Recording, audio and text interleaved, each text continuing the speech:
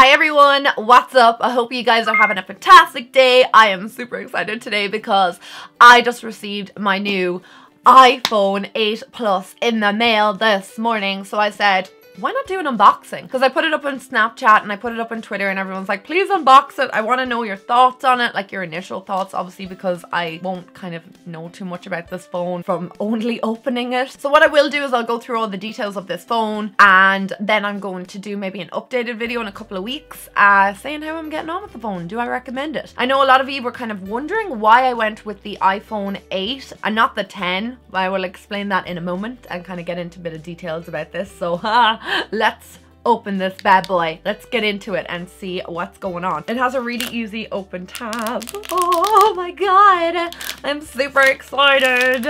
Go away plastic. So this is what the outside box looks like. Box is stunning. You can see the phone on it there. Everything that is iPhone is like kind of like a goldy shade because I ended up getting the gold obviously. So let's open her up. Here's the moment of truth. I hate that when you open the lid and you're like, oh, there's the information pack. Let's just get rid of you there. So this is what the new phone looks like. The, oh, oh god. oh my, let's hold on to that there. So this is the iPhone 8 Plus and I just want to show you my old phone. So this is the iPhone 6s Plus and I got this two years ago. It's been well loved. I got that in rose gold at the time. Uh, it just looks pink to me. It's well and truly loved. This phone has now been given to my sister. She's delighted. She's taken it off my hands. I can use my brand new iPhone 8 Plus. I went with the Plus because I wasn't going from the 6S Plus down to like a normal 8. It's just too small of a screen, especially with YouTube and how much I reply to comments and how much I'm on social media. I needed the big screen, so I stuck with it. I'm going to speak about the phone in one moment while I boot it up and put my new SIM in it and everything and I'll talk about the rest of the content. You get your 3-pin plug.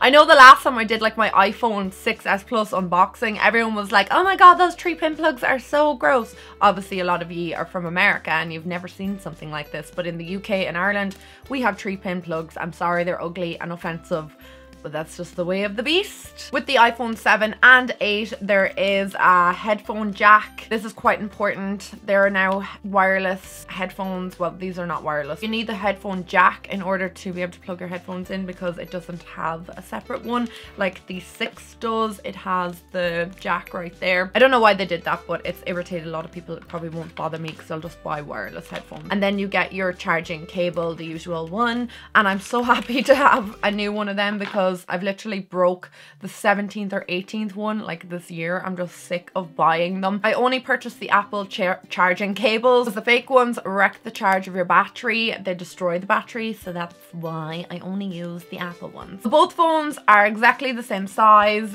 I'm holding this one upside down.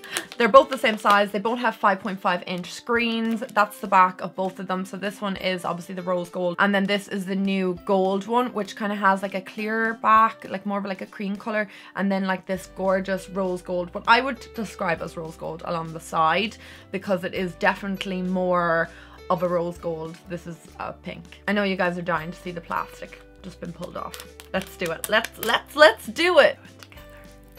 Oh my god. Dun, dun, dun, dun. And there the front. Yeah. So that's what she looks like. Such a gorgeous color. Oh my god, I'm so happy I went with this color. Fingerprints all over it already. I have a cover, don't you guys worry. It has two cameras on it as well, one for portrait, one for, I think, a standard photograph. And then the front, front screen looks like that. You've got your front camera, your microphone and then the bottom obviously has your speakers and then your charging jack. I'm with Eir, that's my provider. I was entitled to this upgrade. that's the only reason I got it. This phone to buy in Ireland currently is 939 euro. So I think before we do anything, should we boot it up? Will we? Will we? Yeah, before we discuss it. I have to open it up. Make sure you hold on to this nifty thing because you won't be able to get into your phone otherwise. Oh, look at my Apple stickers. I always, always hang on to these. You never know when you might need them. So we'll just open her up.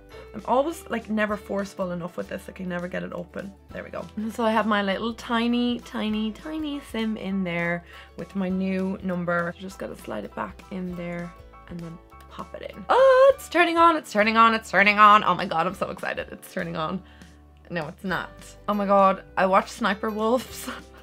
unboxing and the same thing happened to her. Her iPhone wouldn't turn on. Oh, it's turning on. Oh my god. I was like, oh my god, I'm having a sniper wolf moment. Okay, it's unlocking. It's unlocking. Woohoo. So I'm going to click on Ireland and then it's selecting a language for me. And then I get this page and it just says quick start.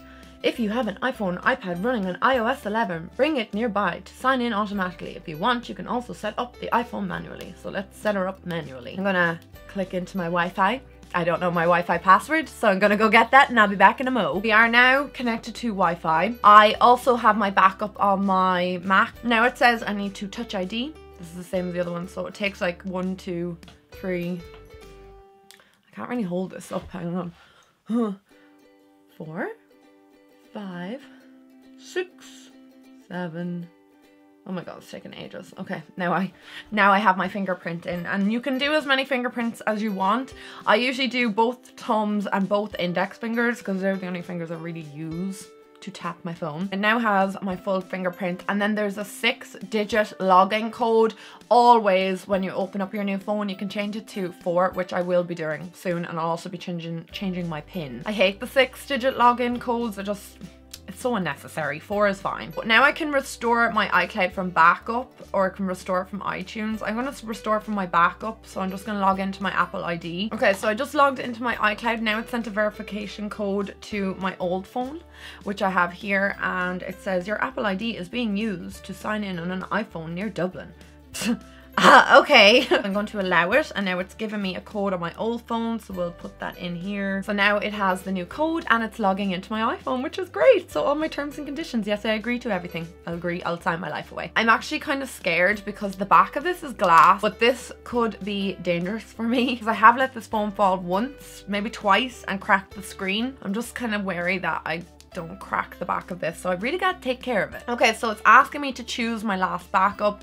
I backed up my iPhone 6s Plus yesterday at 310. So that is the one that I'm going to go with. And now it's just backing up my phone. It's on the wrong time as well girl get your life together. Okay now this is a new feature. Oh, of it this is the true tone display. And this is when the iphone automatically adapts to ambient lighting conditions and makes colors appear consistent in different environments. I'm going to just continue with that. I am up to date with ios 11 0.1.2 at this date. There's not really much else that I can tell you right at this stage. Like everything I presume is going to be quite similar. The thing is obviously now you have the portrait camera, which I'm going to take a couple of pictures of that and just to see what it's like. I'm never really like, oh my god, the camera is so cool. It's so great because I always thought that the camera on the iPhone 6s Plus was okay. Like it was fine. So anything above that is going to be like a little bit more of an improvement. I'm delighted that I went with the iPhone 8 because I was waiting for the 10 to come out to see what everyone was thinking of it, what you know, what people's feelings were about it. And apparently the facial recognition is not working very well and there's an awful lot of errors and people have to return their phones. So that's just a nightmare for me. I don't want to get into that. So I just pass on that one. I'm happy enough to get the 8 because that's what I wanted. That's the one that I had my eye on. I've waited two years for this to come out and I'm just kind of happy to get it. I had the best experience with the 6S Plus. Like it was just a dream. It was such a good phone. It never caused me any problems. It had massive memory on it. I've gotten, I think, more memory on this one. I can't actually remember. I'll write it down in the description what I got. I have unlimited calls, texts, and data. And I also have free social media. My social media is not social media is not going to cut into my allowance. I'm with Eir. It's an Irish provider. They had the best deals at the time. Going to play around with this phone for a few more days, see what I think of it, and then do an upgraded video for you guys, an updated video rather. If you guys want to see what's on my iPhone like what apps I have and everything, I can do that as well because I have kind of fun apps and like editing apps and stuff that you guys might want to see. I'll take a few pictures with the camera just so you can see the comparison of the old camera versus the new one. Right now, there's nothing to write home about. It's just an unboxing video. I haven't played around with it yet. We haven't gotten into the nitty gritty.